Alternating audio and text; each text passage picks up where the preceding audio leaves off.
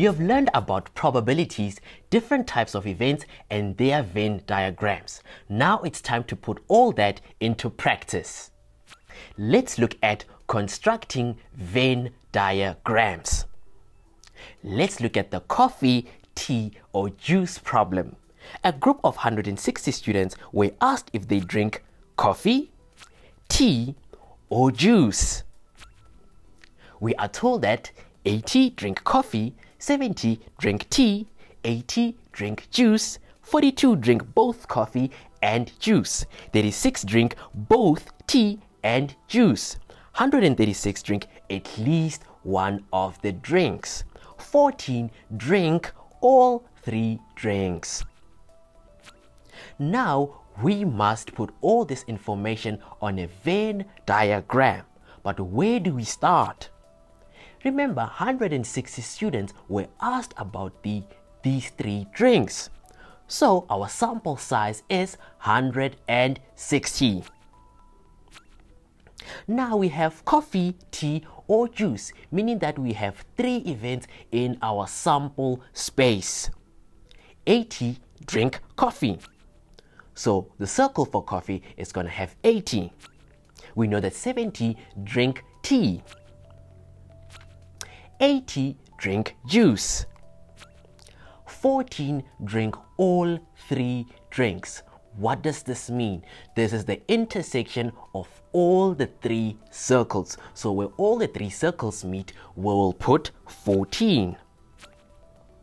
Now 42 drink both coffee and juice. This is the intersection of the coffee and the juice circle.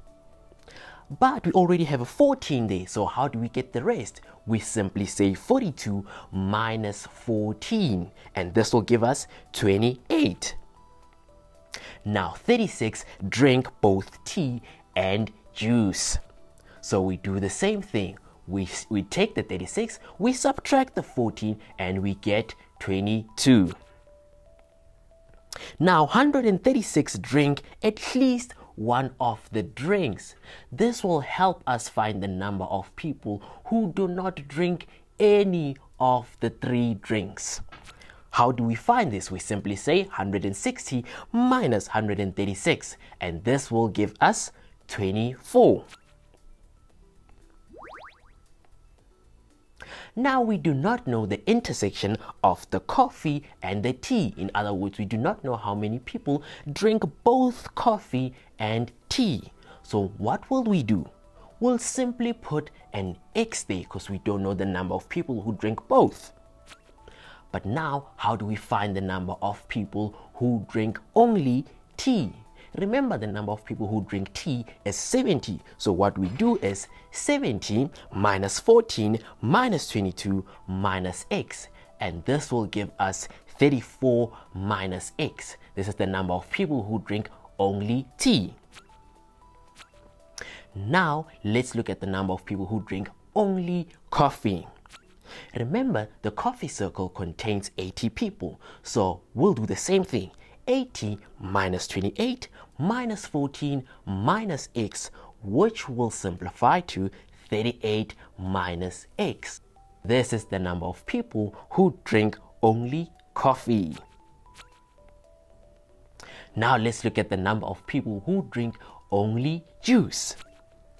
We'll do the same thing here. 80 minus 28 minus 14 minus 22 which will give us 16 this is the number of people who drink only juice. What is the next step? We need to find x.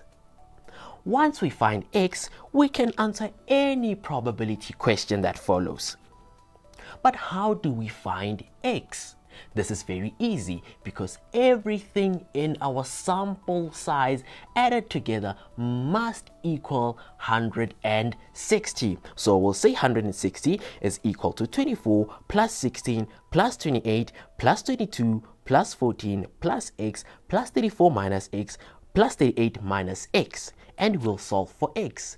We'll get 160 is equal to 176 minus x and therefore x is equal to 16.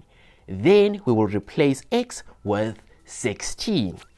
then we know that the number of people who drink only coffee is 22. The number of people who drink only tea is 18.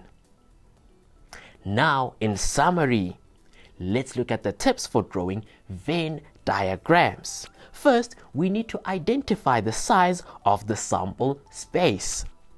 Then we need to draw a circle for each event.